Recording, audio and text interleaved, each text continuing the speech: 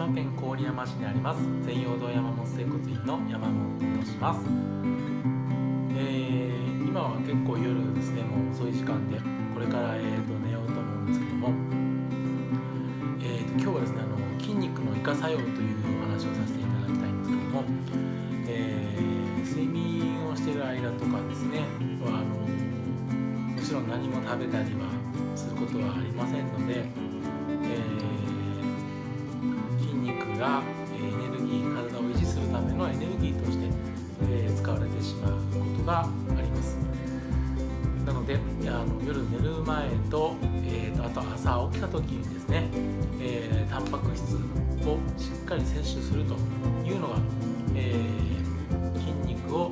無駄にしないということにおいて大変大切になってきます、えー、特に運動なんかをされている方は